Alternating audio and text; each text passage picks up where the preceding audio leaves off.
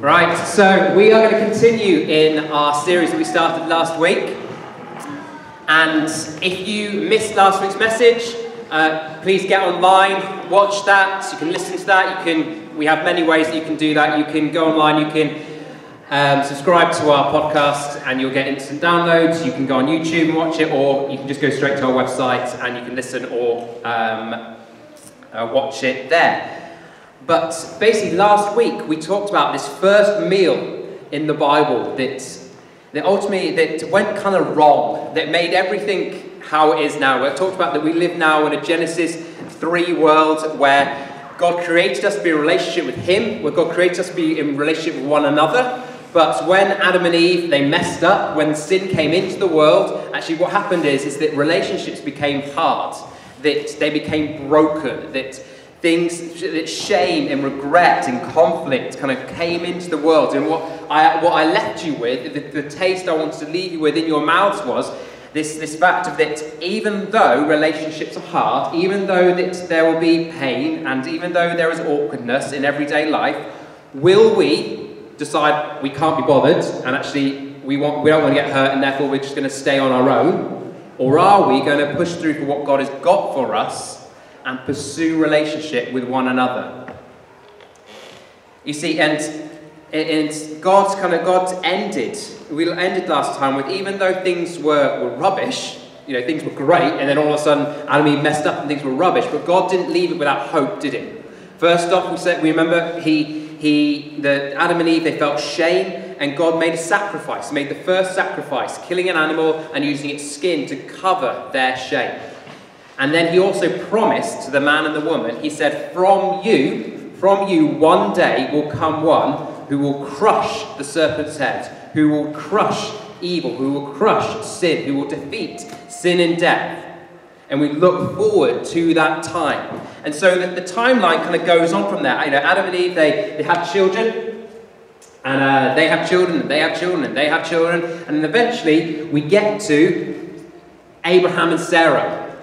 And Abraham and Sarah, um, God calls them out of, of um, Ur of the Chaldeans, which is like a Iraq now, and he calls them out and he says, I'm going to make, I'm going to set you apart. And from you, you are going to bless the world. From, from your people will come that special one. And then he has, they have Isaac and uh, Isaac and Isaac marries Rebecca, and they have Jacob, and Jacob is this really, he's this awful person. If you've got this impression of the Bible and Bible characters as these amazing people that we should all aspire to be like, read Jacob because he is awful. He's an awful person in every sort of sense, sense of the way. He's, a, he's, a, he's cunning, he's, tricked, he's a trickster, and I mean, he even gets, he, eventually, kind of, the irony of the story goes that he gets tricked himself. He falls in love with, with um, Rachel. He works to, um, so that he can marry Rachel, and then on the wedding day, I mean, she, she must be wearing complete head to toe cover so you can't see who she is.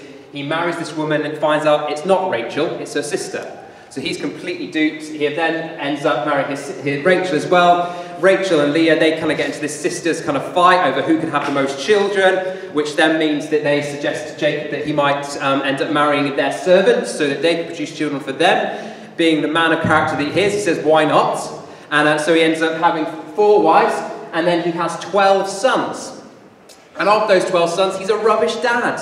And he ends up picking favourites. And then he ends up, oh, if you remember um, Joseph in his Technicolor dream coat, he, he chooses Joseph out of all his sons. This, this guy here, you probably can't see it all the way back there, but I've drawn special lines on it to, to, to, pick that it's multicolored.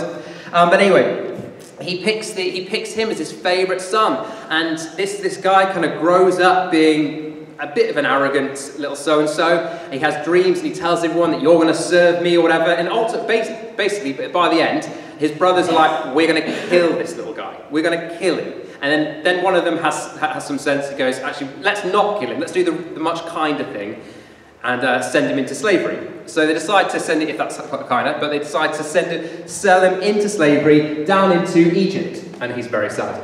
And he goes into Egypt, he's really sad. Um, he then becomes a slave in Egypt. And then eventually he, he is uh, falsely accused of something that he didn't do. And he's made, he's put in prison and he spends, he spends years and years of his life in prison. But whilst in prison, he meets these two guys who have a dream.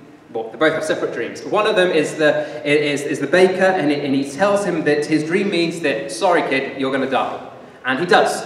And then the other one uh, is, is the cupbearer to the king, the pharaoh, and he tells him that this dream means that you're going to be reinstalled to your status. But when this happens, please remember me. Please do something. Get me out of here. You're going to know the king. You're, going to know the most powerful person in the world. Please use that to get me out of here. And that does come true. He does get out, but he forgets all about Joseph.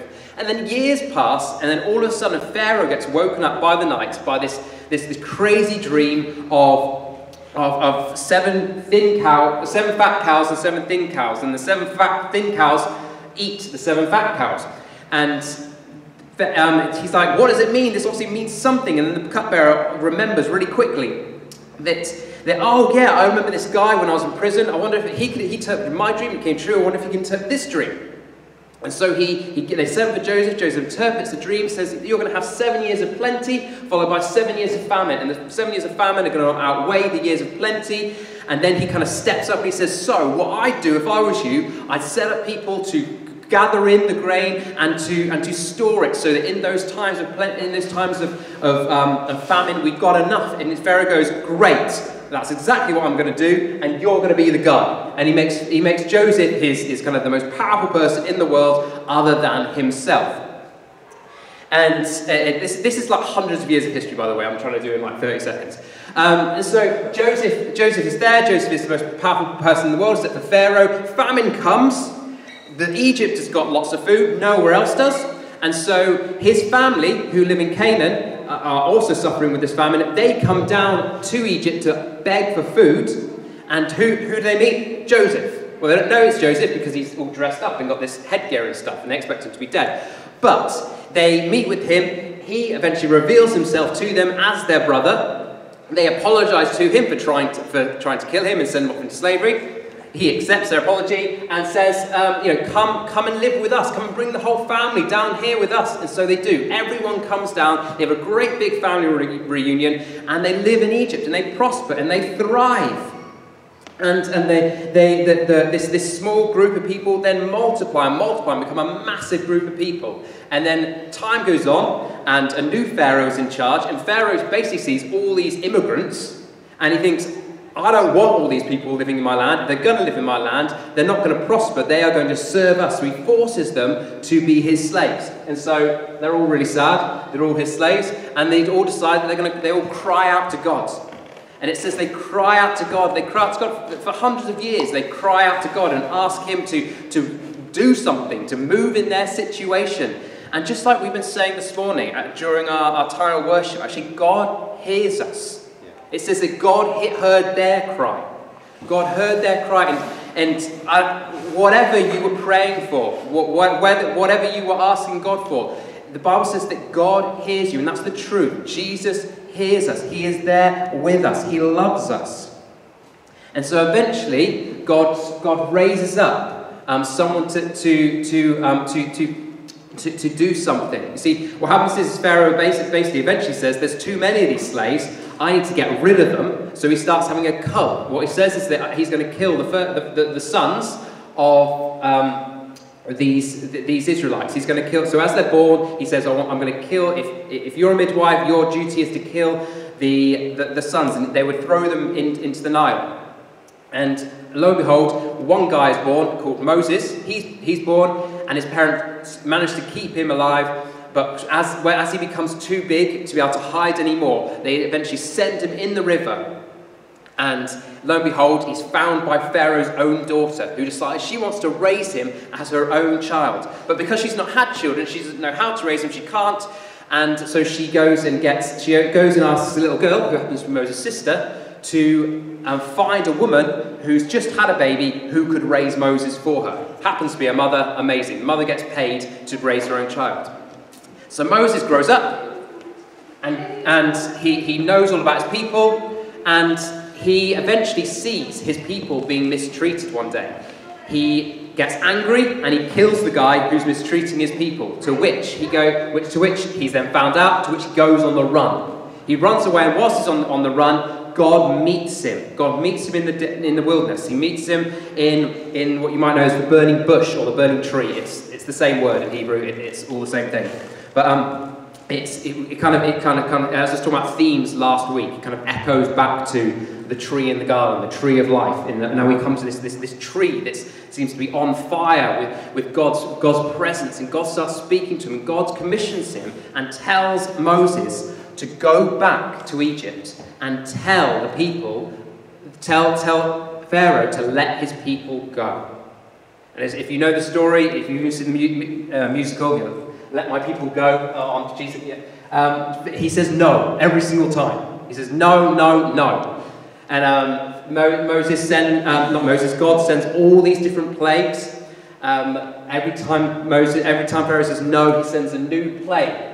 And then, and then Pharaoh would say, "Okay, you can go," and the plague would go, and then God, and then Pharaoh would say, "No, they can't go."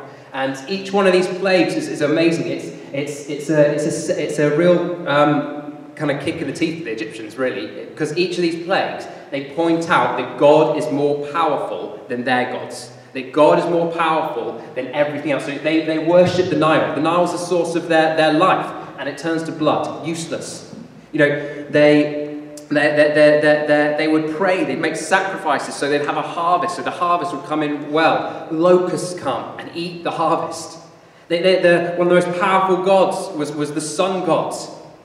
And, and, and they, they, they believed that every day the sun god would have a battle with evil and it would appear in the sky victorious. And then one day it's blackened out, showing that, that, that it is, it, God has more power over their God. And actually, what that, that shows is actually for them, God has power, God had power over their gods, but actually for us, every obstacle that we face, everything that we come across, everything that we think this is too big, or I, I'm going to trust in money or whatever, it's saying that God is more powerful than all those things. God is more trustworthy than any of those things that we put our trust in.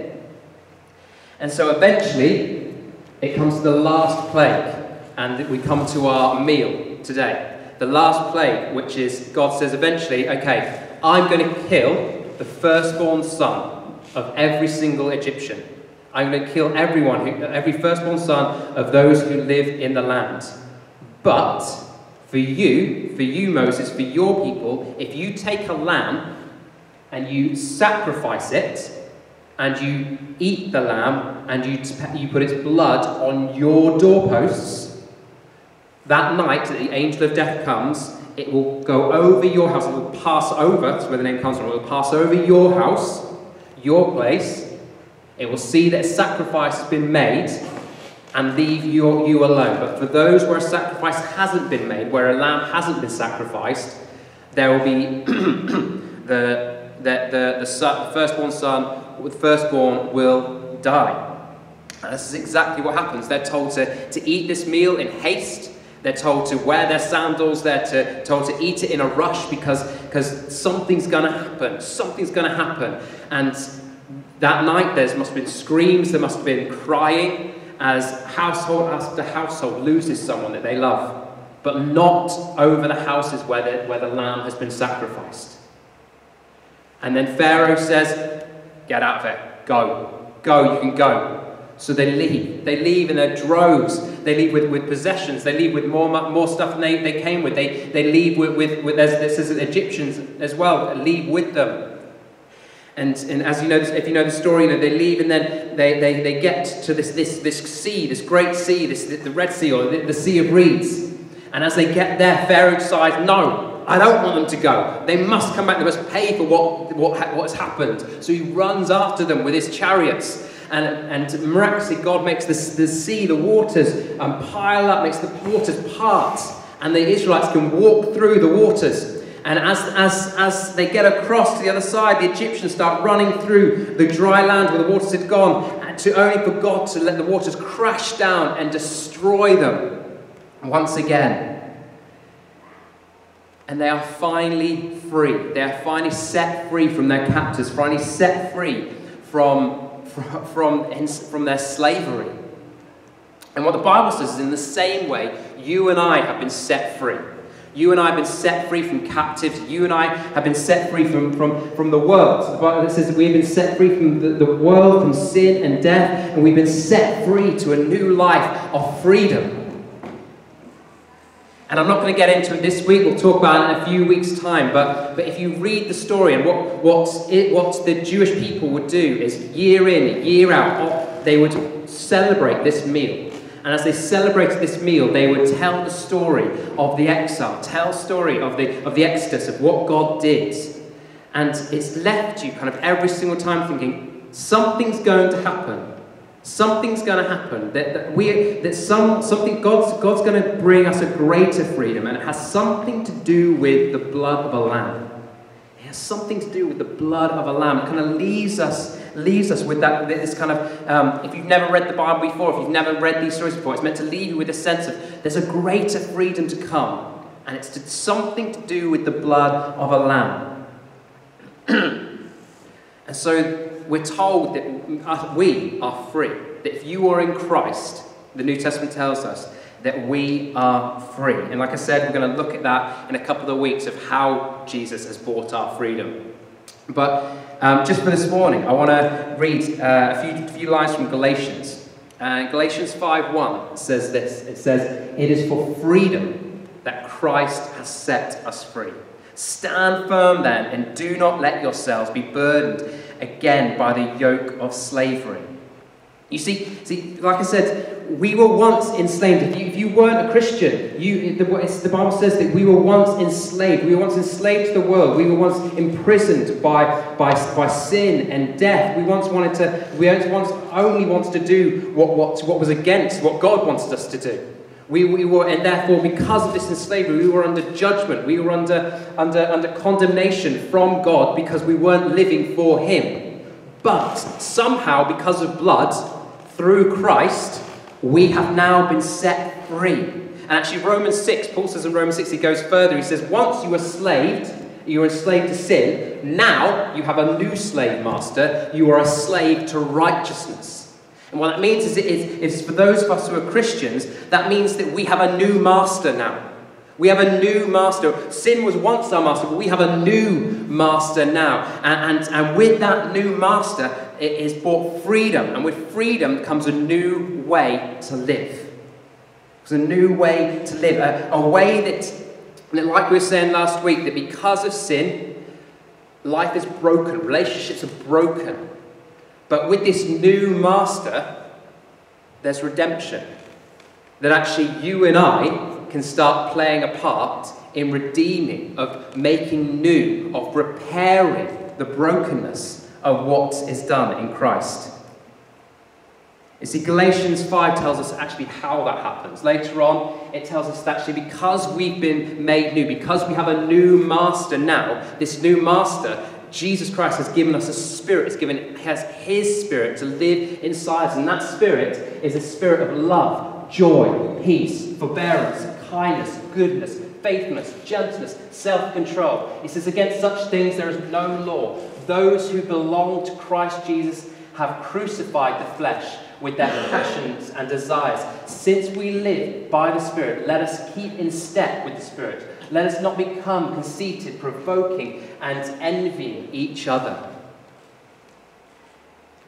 You see, a life under the new master that we now live is freedom. Is freedom. And, and what freedom looks like is where we're able to be loving and kind. And not just nice, but supernaturally loving and kind towards one another. Where, where there once was bitterness and resentment, you, they wronged me, I want to wrong them back. They hurt me, I want to hurt them back. No, in Christ, the spirit that Christ gives us is to even those who have hurt us, I want to supernaturally be kind to them. I want to love them. It means that, that we, we bring peace, that actually we forbear with one another, which I wasn't quite sure what that meant, so I looked it up. And it basically means it's, comes, it's, a, it's a financial term. I had no idea, but it's a financial term. It basically means that if you, give, if you owe money to someone, so mortgage or whatever, say, say you know, the bank gives you some money and you owe them money, and they say, therefore, you need to, buy, you need to pay us £600 back a month because of what we owe you. And you say, well, I can't pay that. To forbear means they go, well, how much can you pay back? And let, they let you pay back what you can afford. And so, so to forbear with one another is we meet each other where we're at. We don't expect high standards of each other when we can't deliver it. We say, actually, no, we, we, we meet you where you're at. We understand what you're going through. Or I don't understand what you're going through, but I appreciate that it might be hard. So therefore, I'm not going to expect high standards of you that, that, that, that you can't achieve. I'm going to meet you where you're at. You know, it means that actually that, that be, being, being, being people of the Spirit, it's actually really countercultural. It's actually completely countercultural. You know, more and more especially it's been kind of highlighted, especially over the last couple of years. You know, we, we live in this, this, this, this age of cancel culture, which basically means that you need to agree with me in every single thing I think, otherwise I cannot be your friend. And if you don't agree with me, then therefore I don't agree with anything about you. It means, you know, things, it, it, it's gone on to like TV stuff and, you know, stuff that used to be on the telly that now is actually we, some people don't like. It's a bit offensive. So therefore, we erase it. We erase it from existence. That part someone's like isn't, isn't, isn't, isn't, uh, we don't like that bit, it doesn't stick up to modern values or whatever, so therefore we get rid of the whole thing. No! No, what, what we are to do with one another is, actually the beautiful thing about the church family is, you can have different ideas from me, you can decide, I'm going to raise my children completely differently to where you raise your children. Actually, secretly, I think the way you raise your children is wrong. And it's okay. We can still be friends. We can still love each other. I'm going to do this. I'm going to put my energy into this. And that's not what you think I should do. And that's okay. We can still love each other. We can still be kind to one another. We can still forbear with one another. We can still, um, we can still be kind and bring peace into those situations. We don't need to see eye to eye. We don't. That's the beautiful thing about the church is that, that, that it is meant to be made up of people who are completely different. Not one type of person who believes one type of thing. And if you don't believe that one type of thing, then you need to get out. No, we, we, we the beauty is the difference. You see, we are to be people who accept and love one another. Now, that doesn't mean that we always wholeheartedly trust one another. That's a different thing, okay? You can love and accept someone, but, you know, it means that, but there are certain things in life which we, we do need to have some sort of level of character if we're going to trust someone. For example, if you, if, if you, um, it, it may, maybe if someone, um, you know, has a trouble with alcohol or, um, or is very angry or whatever, can still love and accept them, might not let them watch my children on their own. Or maybe if you have problems with money, you don't give them your bank account details or whatever like that. It doesn't mean you don't love them, it doesn't mean you don't accept them, and actually we can still be family together, but sometimes there's things of, of trust, a level of character which only you can decide needs to come into. But that doesn't mean that we can't still be family together. You see, actually, it can be really hard uh, to, to determine how we can re- how to uh, how we are to um, act towards each other. But what the Bible shows, shows us is that this life of being free as a Christian from Satan's sin and death and being, being under a new master now, Jesus Christ, what, what the Bible shows us, it doesn't just tell us how to do that, actually, it shows us. See, we've got, we've got a Lord and Saviour who came down and showed us how to live a life which is loving and accepting and, and, and kind to others. So I've got three examples I'm going to go through quickly of uh, uh, these three stories which I love. Um, that shows us how Jesus acted and kind of ho- hopefully will help us show how we can act towards one another. the first example is a blind man. Now, there was this blind man in, in John chapter 9, we read about this blind man who's been blind from birth, and, um, and basically he's, he's blind there, and Jesus, uh, Jesus walks by him one day with his disciples, and his disciples say, Why is this guy blind? Is it because he's an awful person, or is it because his parents were awful people? And, that, and Jesus said, Neither. It's so I can be glorified in this moment. And he goes, to the, he goes before him, spits on the ground, grabs, some, grabs the, the mud that's made from the dirt and the spit. And imagine being blind and then all of a sudden getting this kind of wet stuff on your face. Like, what's that? It's Jesus spit. Um, and, and he heals him. He heals him. You see, the disciples, actually, they were just a typical cross-sectional view of what everyone thought. You know, you, you're ill, therefore it's because you've done something wrong. Or it's because people around you have done something wrong. So anyway, the reason why you're ill and I'm not it's because you've done something wrong and I'm okay, I'm right. You know, I'm rich because I've worked hard and, and, and I've got this job because of my working. Now that might be true, but actually there's a sense there's a grace of God in that as well, and therefore, but the danger of that is we can look down and say, well, you're not rich, you don't have stuff that I have, because, well, you're obviously an awful person, and you don't deserve it. And that's completely rubbish. So what Jesus does, rather, this guy who was an outcast due to his disability, Jesus accepts him, he comes up to him, he loves him, he heals him, physically heals his sight, and he restores his relationship with others and with God.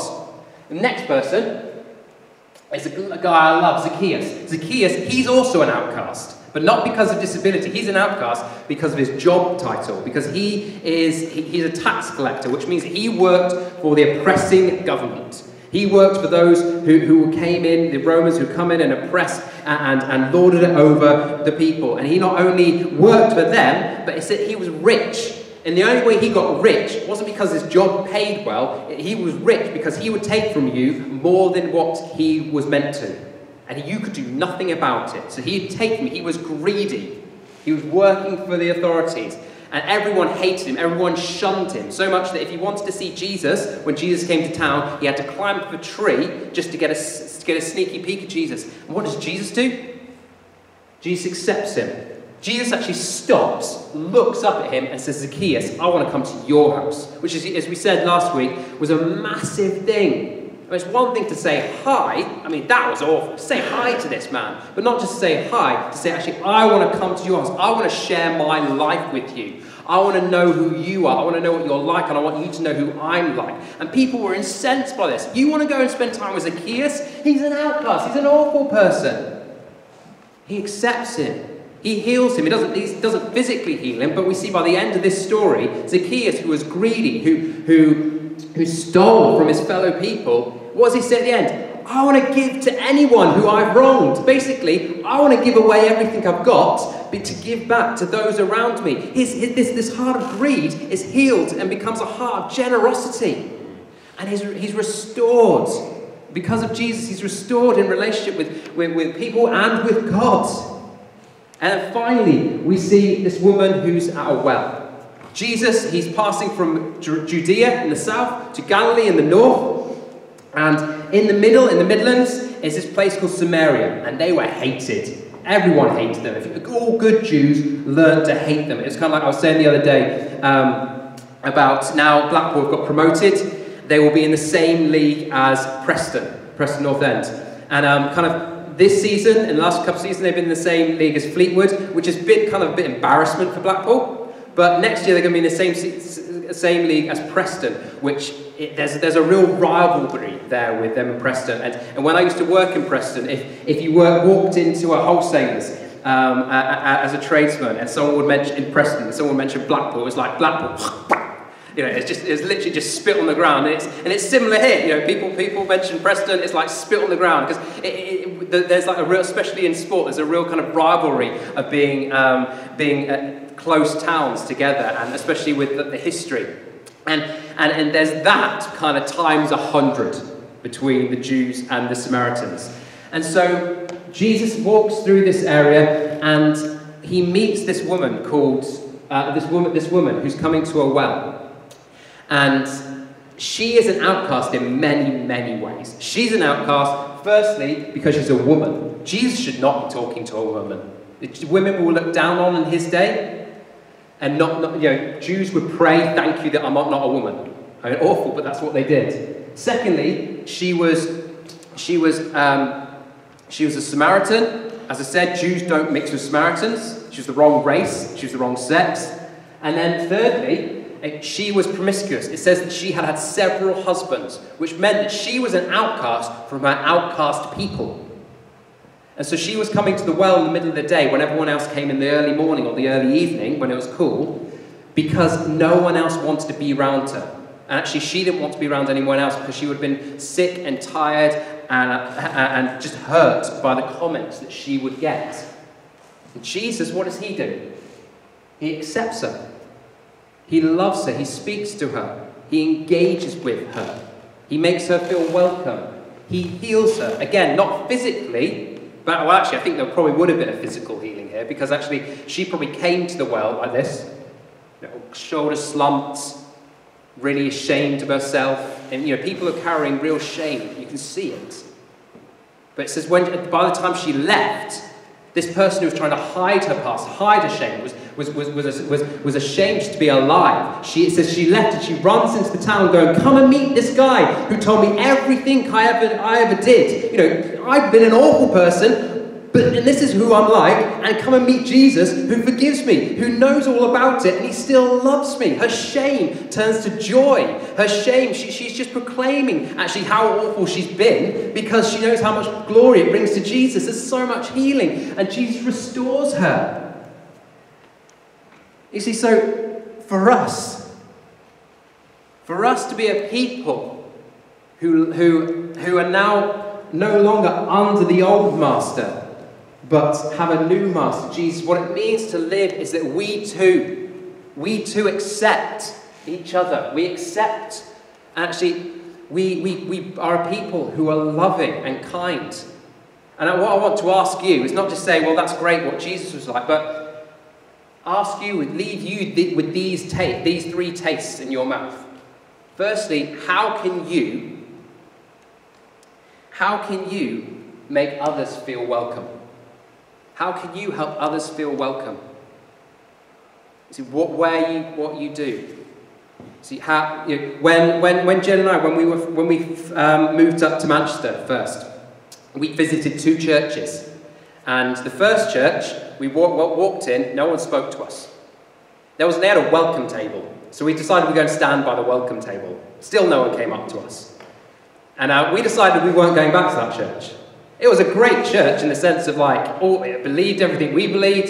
It did, it kind of had all the same values as we'd have, but no one really wanted to be our friends, it felt like. We went to another church, which we ended up spending the next five years at, who everyone wanted to talk to us, it felt like. People invited us back to dinner. People wanted to know about. People were interested in us. And you know what? You can do that. You can do that. You see, when, when we're asking people to, to serve, to, to help out, to, to welcome, to set up, to help with kids, what we're asking is not for you to just do a mundane job, but you to help others feel accepted. You see, when if you stand outside, what you're doing is when someone shows up in the car park for the first time, they're like, is this the right place? I'm not really sure. No. Where am I going to go from here? If there's a smiling face out there going, oh, you, you here for the church? Yeah, we're just down here that makes them feel so much better, so much at ease.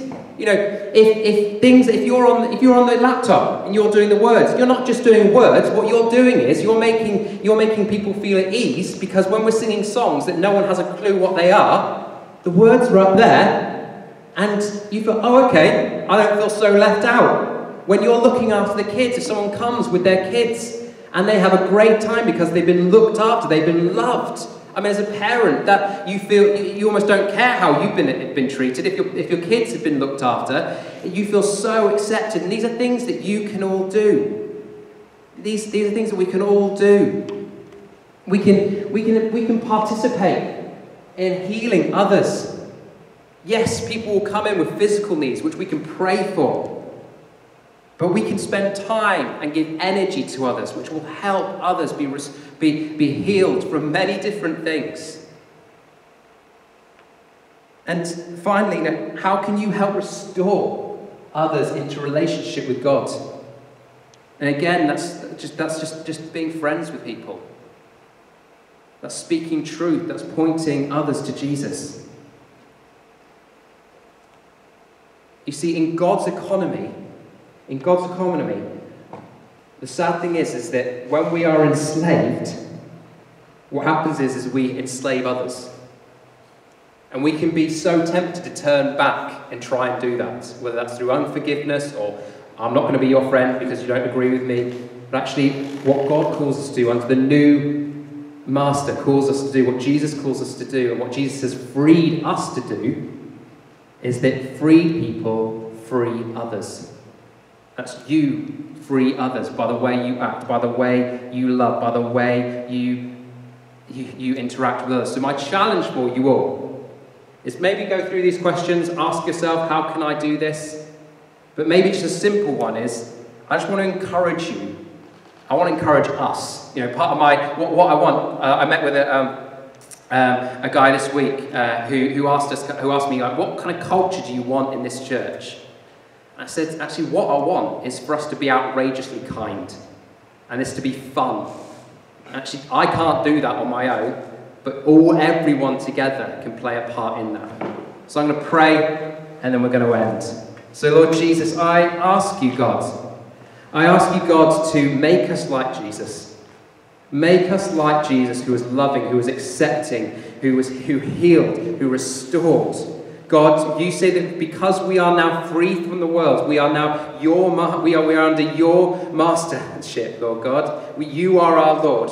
That through that, that you can do that. Lord Jesus, we don't just sit back and just wait for you to do it, Lord God, but you, you, you have made us to take part in that, to partake in redeeming of this world, to re- the redeeming of the brokenness in this world, redeeming of the brokenness in relationship, Lord God. You have called us under, this, under the new master, under Jesus Christ, to play a part in being, in, in, in restoring relationships. Lord Jesus, and I pray, Lord God, for this church, Lord God, I pray, Jesus, that it would be a place that is fun Lord God, it would be a place that, that where, where each one of us are just outrageously kind and giving of our time and want to accept and love one another. Even when we completely disagree with each other, we still love and, and, and accept one another. Uh, and that's the underlying thing that we accept and love like Jesus. Amen.